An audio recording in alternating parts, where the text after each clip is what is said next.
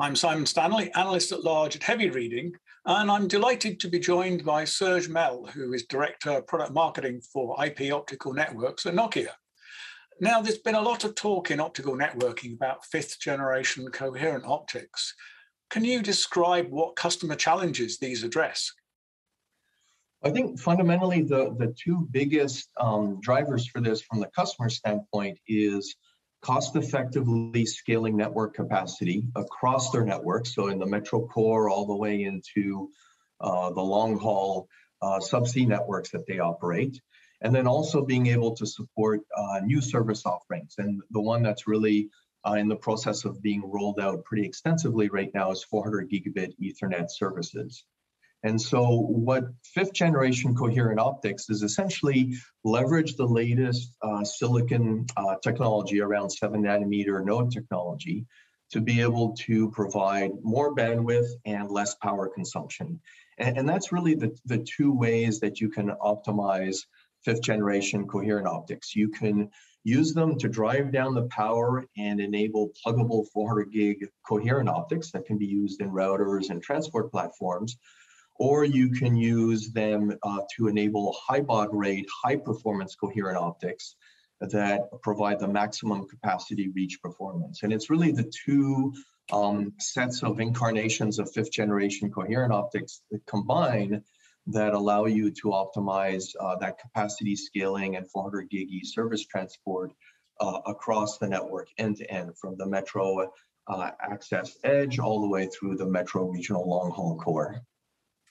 Okay, so we're seeing these solutions covering both pluggable and performance optimized applications. What are some of the characteristics or details of these fifth generation coherent optics, and why would customers use one over the other? Yeah, so th- that's exactly the point around this is that it's a, a, range of solutions that fall under the category of fifth generation coherent optics. And they're very much optimized for different application areas. So at one end, you have 400ZR optics, which are um, very much optimized for short reach metro point to point data center interconnect applications. So they provide 400 gigabits per wavelength, but can only do a single span. Uh, similar to 400ZR, but with more uh, performance are 400ZR plus optics. And essentially they extend uh, the distance over which you can get 400 gigabits per wavelength and are uh, usable in uh, smaller metro but networked applications. So think of uh, metro aggregation rings, metro core networks. But at some point, they don't have enough capacity reach. And that's where you have this category called 400 gig multi-haul, which extends the uh, capacity reach performance and also, very importantly, the ability to uh, transmit through multiple ROADM nodes so that these can be used in metro core and regional network applications. And then really at the, the, the high performance end are 90 gigabaud coherent optics. So these uh, support uh, much higher capacities per wavelength. They can do 400 gigabit transport over thousands of kilometers, so into, into ultra long haul and subsea network applications. And then the first three, 400ZR, 400ZR Plus, and 400 gig multi-haul are all pluggable. So they can be deployed in routing platforms to enable IP optical uh, integration applications.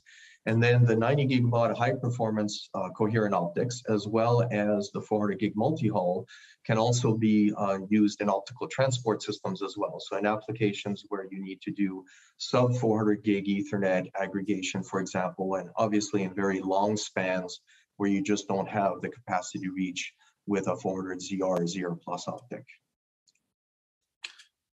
Turning now to solutions from Nokia, uh, what is Nokia doing around fifth gen coherent optics? Are, are, you focusing on one area or all applications? And how will Nokia utilize these in transport products? Yeah, so Nokia has introduced uh, fifth generation coherent optics uh, across all the categories that uh, I mentioned before. So we've introduced 400 ZR and ZR plus optic support in our routing platforms. And specifically for our optical transport systems, we're introducing both the CFP2 pluggable 400 gig multi-haul optics across our portfolio, so into our metro platforms, our compact modular systems, our integrated uh, transponder line system solutions, and also our packet OTN switching platforms.